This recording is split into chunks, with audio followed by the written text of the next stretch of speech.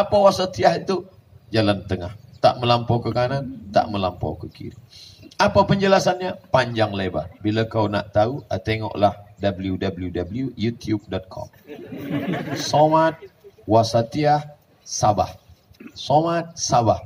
Nanti akan ada insya-Allah. Siapa yang buat? Ha, inilah yang ada ada kamera ni.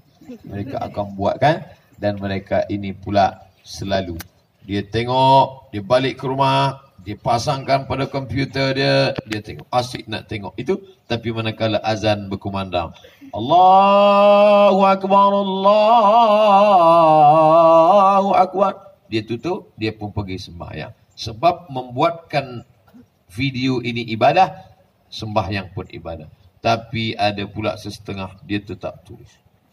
Datang orang tanya awak tak sembahyang? Ini pun ibadah akhir ini ibadah ni. Ini ibadah engkau pergilah ibadah sana. Ini juga ibadah. Oh ini tak setia. Ini apa namanya? Videoiyah masih nak buatkan video saja. Kita ni mesti ada keseimbangan. Dan semua mesti dengan ilmu. Nampaklah bahawa orang yang melampau dalam ibadah itu sebenarnya bukanlah orang alim tapi orang jahil. Tidak berilmu. Semua mesti berawal daripada ilmu. Bila kita tak ada ilmu kita sangka buat baik itu ibadah padahal tidak ibadah bila kita tak ada ilmu kita sangka dia adalah hasanat padahal dia sayyi'ah bila orang tidak ada ilmu dia kita suruh sembahyang bertayamum dia rasa tak sembahyang. Aku kalau sembahyang pakai tayamum ni rasa tak sembahyang. Sembahyang mestilah pakai air.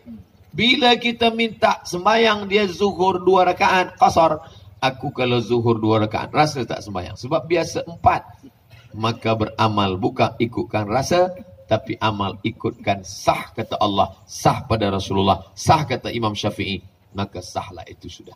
Itulah guna ilmu. Makanya la ilaha illallah. Cuba tengok pangkal ayat la ilaha illallah. Fa'lam annahu la ilaha illallah. Fa'lam. Berilmu dulu. Kitabul Iman. Imam Bukhari menyusun kitab hadis. Kitabul Iman.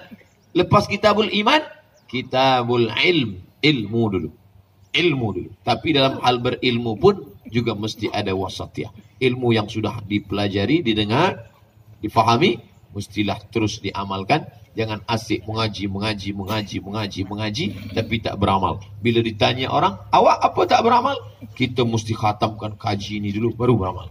Oh ini pun tak betul. Sejalan antara mengaji dengan beramal. Itulah yang dapat saya sampaikan pada kesempatan yang baik-baik ini. Man salla subuha fi jama'atin. Sesiapa yang sembahyang subuh berjamaah. Faka'annama salla layla kullah. Dapat pahala macam sembahyang sepanjang malam.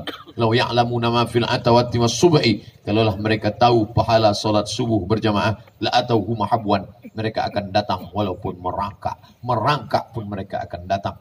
Mudah-mudahan kita sampai anak cucu istiqamah insyaAllah. Ala hadhihi niyah al-fatihah.